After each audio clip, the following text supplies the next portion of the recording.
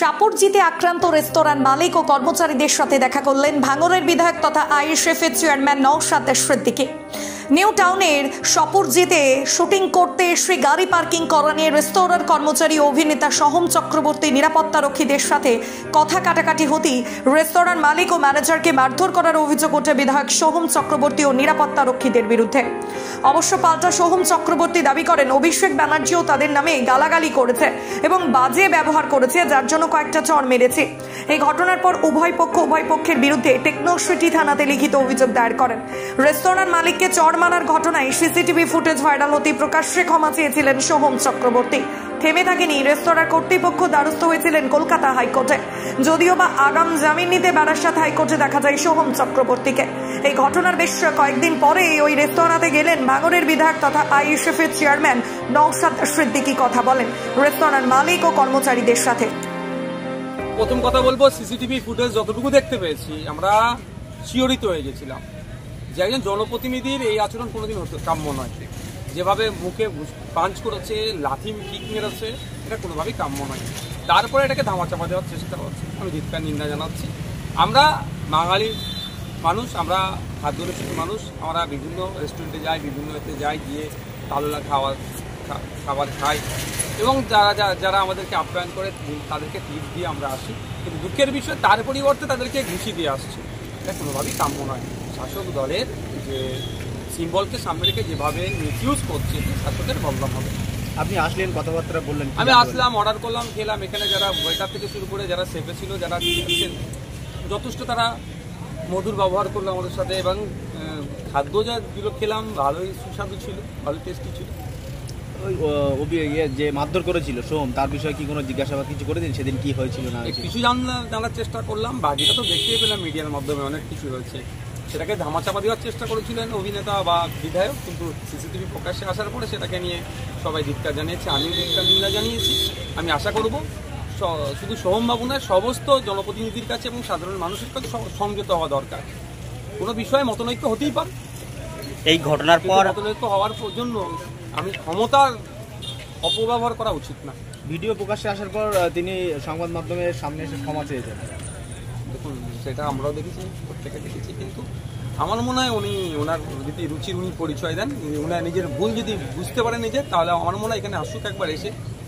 আরে তাই বাংলার এমনি কাজ না কাজ হারিয়ে বিভিন্ন রাজ্যে পরিযায়ী শ্রমিক হয়ে যাচ্ছে এখানে তাও একটা রেস্টুরেন্ট বানিয়ে তো এত ছেলেদের মুখে আহাত তুলে দিচ্ছে এত ছেলে কাজ করছে। এখানকার রেস্টুরেন্ট মালিকের সাথে একটু কথা বলুক না। কিন্তু যে দিনটা তো পিক অফ দ্য মোমেন্ট ছিল এটুকুই কতটুকু শব্দ খরচ করুক না? তাহলে যেন তো প্রকৃত জনপ্রতিনিধি আপনার শখের গাড়িটি আপনি সার্ভিস করতে চান চলে আসুন এ টু জেড কার শোরুমে সব ধরনের ফোর হুইলার আধুনিক উন্নত মেশিন সহ অভিজ্ঞ মিস্ত্রি দ্বারা পালিশ করানো হয়। কলকাতা বা নিউ টাউনে থেকে কম খরচে সার্ভিস করতে পারবেন। ঠিকানা ভাঙড়ে Hatishala six lane K one bus stand যোগাযোগ nine eight three two three six two four one four নাম্বারে আমার। তো আমার ম্যানেজার এখানে থাকে।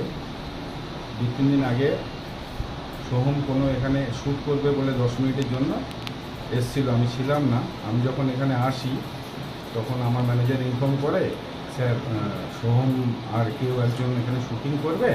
আপনি অ্যালাউ করবেন কি না? অ্যালাউ কোথায় করবেন? বলে রুটটা বললাম, ঠিক আছে। বলছে কোনো পয়সা নেবেন কি না? আমি বললাম না কোনো পয়সা নেব না। উনি গেস্ট যখন ঠিক আছে।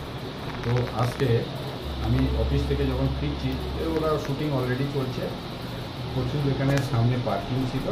আমারই রেস্টুরেন্টের একজন স্টাফ এতগুলো পার্কিং ছিল। আমি বললাম, আমাদের গেস্ট আসবে, একটা পার্কিং সরিয়ে রাখতে আমরা তার জন্য জায়গা অ্যালাউটও করে দিয়েছি।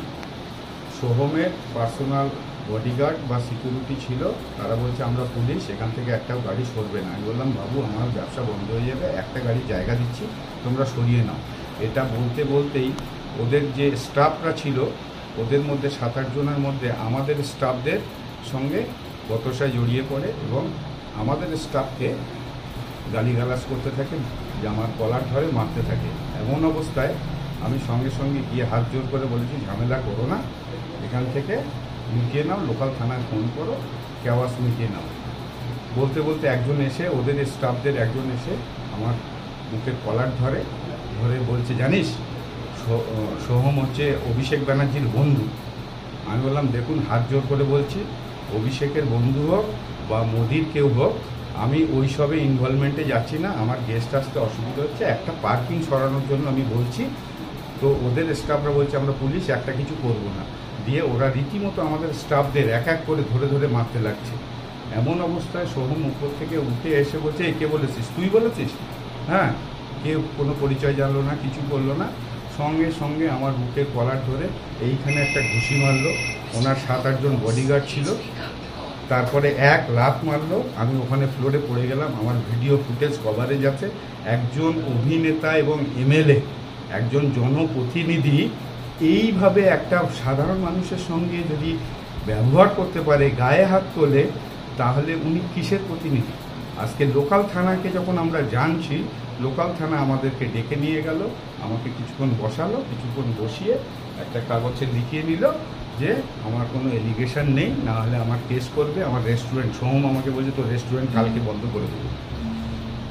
আহ, এত বড় হুমকি দিয়ে গেল। সমস্ত কিছু ভিডিও ফুটেজ আছে এবং আমার স্টাফরা যাদেরকে মেরেছে তাদের সঙ্গে তোমরা কথা বলতে পারো। এই এরকম যদি জনপ্রতিনিধি হয় তাহলে দেশের অবস্থা কোথায় যাবে, রাজ্যের অবস্থা কোথায় যাবে? যিনি নিজে হুমকি দিচ্ছে রেস্টুরেন্ট বন্ধ করে দেবো। একজন গেস্ট হিসেবে আমি অ্যালাউ করেছিলাম, সেই ক্ষেত্রে আমাকে ফ্লোরে মেরেছে, লাথি মেরেছে। আমি একজন এখানকার ওনার হয়ে আমার এইরকম অবস্থা, তার উপরে হুমকি দিচ্ছে। এবং ওদের কিছু স্টাফ সাত আটজন আমাদের রেস্টুরেন্টের টি শার্ট পরে রয়েছে, সবাই চিনতে পারছে রেস্টুরেন্টের স্টাফ তাদেরকে ধরে ধরে মারছে। পুলিশ, লোকাল থানায় এসে বলছে কে কী করেছ? বলে দুজনকে এখান থেকে নিয়ে গেছিল তারা কিছুক্ষণ বসে আমাদেরকে ছেড়ে দিয়েছে। আপনার নাম? এই এই। আপনার নাম? আমার নাম আনিসুল আলম।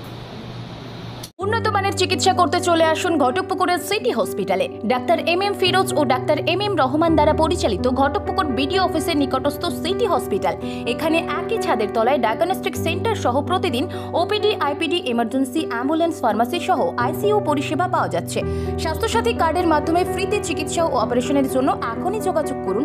স্ক্রিনে দেওয়া এই নাম্বারে।